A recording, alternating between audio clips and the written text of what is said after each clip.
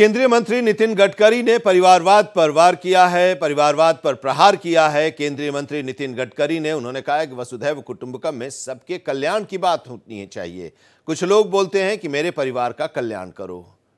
केंद्रीय सड़क एवं परिवहन मंत्री नितिन गडकरी ने भाई भतीजावाद और परिवारवाद की राजनीति पर सीधे तौर पर हमला बोला है। नितिन गडकरी ने कहा कि अपनी संस्कृति में कहा गया है, वसुधैव कुटुंबकम। यानी विश्व का कल्याण हो। हमारी संस्कृति में यह कहीं नहीं कहा गया है कि पहले मेरा कल्याण हो, पहले मेरे बेटे का कल्याण हो, मेरे दोस्तों का कल्याण हो। राजनीति में कुछ लोग ऐसा बोलते हैं, पहले मेरे बेटे का कल्याण करो, उसे टिकट दो, कुछ भी होगा तो चलेगा। मेरे बेटे को टिकट दो, मेरी पत्नी को टिकट दो। आखिर क्यों ये चलता है?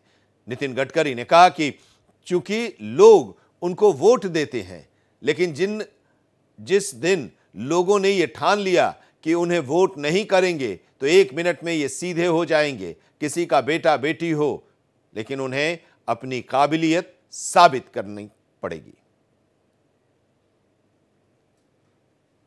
योग्य निदान करून आपल्या इथे आपण नेहमी म्हणतो, आपल्या संस्कृतीमध्ये वसुदैव कुटुंब जसं म्हणतो, तेव्हा आपण म्हणतो, विश्वाचं कल्याण हो.